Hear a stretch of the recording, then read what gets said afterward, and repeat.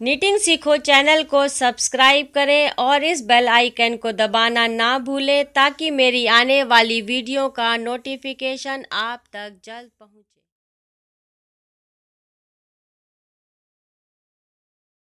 आप ऐसे table mat भी बना सकते हैं, जिसमें मैं बोरी का यूज़ करूँगी और ऊन का यूज़ करूँगी, कोई भी कलर आप इसमें लगा सकते हैं। ये बनाना बहुत ही इजी है, इसमें आप साइज़ कोई भी बना सकते हैं।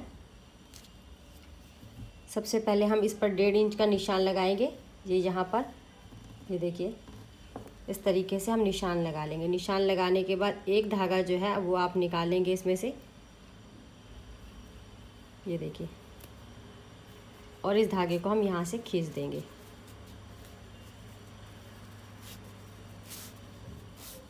ये देखिए, धागा आपको यहाँ से निकला हुआ दिखाई देगा। यहाँ पर हमने गैप हो गया हमारे इसमें। अब इस साइड से हम एक धागा और निकालेंगे, ये देखिए।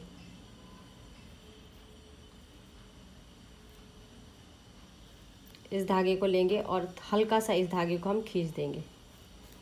ये देखिए इतना। अब ऊन लेंगे, डबल करेंगे उसको। डबल करने के बाद इसको इस तरीके से ऐसे नॉट लगा देंगे। एक नॉट हमने इसमें लगानी है।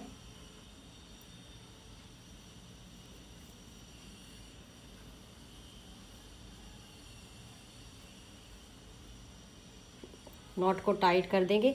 अब धागा हमने इस साइड का निकाला तो सेम इसी साइड का हमने जो है, ये वाला धागा लेना है।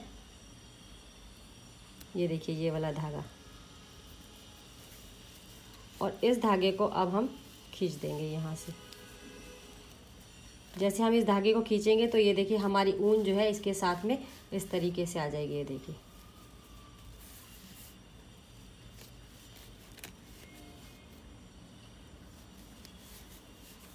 ये देखिए। फिर हम रिपीट करेंगे ऐसे ही। इसके साथ वाला धागा लेंगे, ये देखिए, ये वाला धागा लेंगे और इसको हम हल्का सा निकाल देंगे।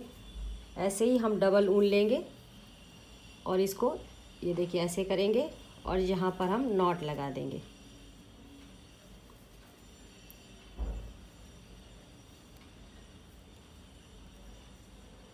ये देखिए, अब हमने इस साइड का धागा निकाला था तो सेम इसी साइड का ही ये देखिए, इस साइड का यहाँ से हमने धागा निकालना है, ये वाला, और इस धागे को हम ऐसे ही रिपीट करेंगे, जैसे हमने पहले खींचा था धागे को। ये देखिए। ये देखिए, ये धागा हमारा ये इस साइड में आ गया है, और अब हम इसको पकड़ कर और इसको सीधा कर देंगे, ये देखिए। बहुत इजी है इसको करना। ये करने के बाद फिर हम रिपीट करेंगे। ऐसा ही हम एक इंच तक जो है, हम इसको बनाएँगे। ये देखिए, एक इंच तक हम इसको ऐसे ही रिपीट करेंगे और पूरा करेंगे इसको। ये देखिए फ्रेंड्स ये हमारा कंप्लीट हो गया है। अब फिर सेम ऐसे ही करना है। यहाँ से दो इंच लेंगे या फिर डेढ़ इंच आप ले सकते हैं। तो यहाँ से हम डेढ़ इंच लेंगे और इसी तरीके से हम यहाँ से एक धागा यहाँ से निकालेंगे। पहले आप एक धागा निकाल लें ताकि ये जो है लूज़ हो जाए। तब हम धागा ऊन का डालें तो ये आसानी से आ जाए इसमें।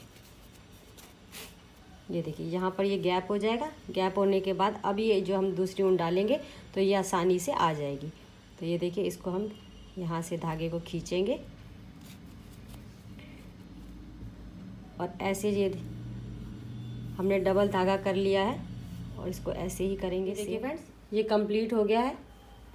साइड के धागे आप इस तरीके से या तो आप इसको इक्वल कर लें और इक्वल करने के बाद जिक जैक मशीन जो है वो आप इस पर लगा दें तो ये धागे जो है निकलेंगे नहीं या फिर आप इस पर बॉर्डर लगा सकते हैं। तो मैं इस पर बॉर्डर लगाने वाली हूँ। इसको मैं यहाँ से कट कर दूँगी। इक्वल करेंगे। सबसे पहले हम इसको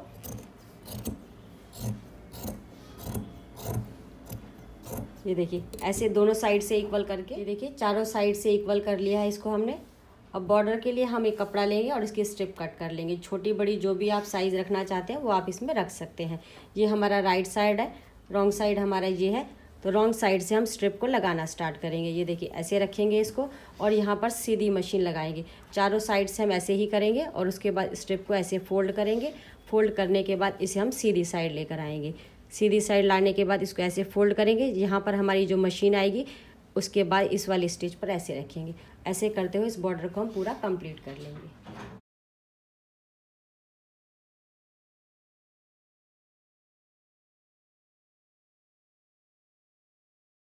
ये देखिए, बॉर्डर हमारा कंप्लीट हो गया है। साइड में हम लटकन लगाएँगे।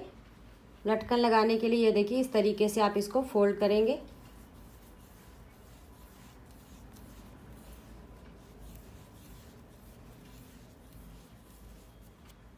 इसको निकाल देंगे और यहाँ से हम इसको फिर से रैप करेंगे।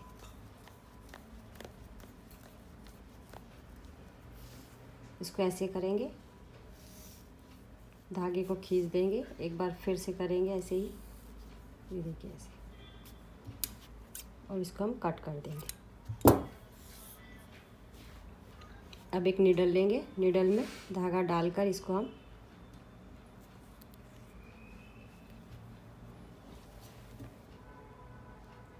इसको हम पहले बीच में कर देंगे। ये देखिए कॉर्नर पे से लगाएँगे। इसके बीच में से यहाँ पर नीडल मैंने नहीं ली है, ऐसे लेंगे।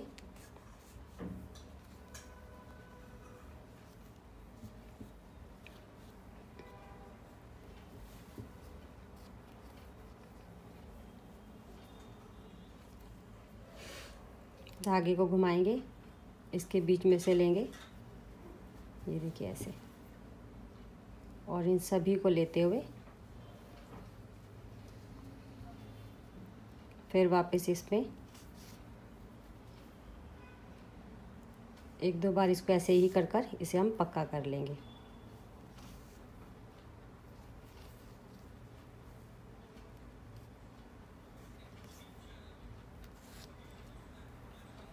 इसे टाइट कर देंगे और इसे यहाँ से हम कट कर देंगे। इसे बीच में से कट कर लेंगे। अब आप इसमें, इसको छोटा बड़ा भी आप इसमें कर सकते हैं। ऐसे ये देखिए, मैंने ये दो तीन कलर में बनाया है, ऐसे ही पूरा करेंगे, दोनों साइड में लगा कर इसे हम।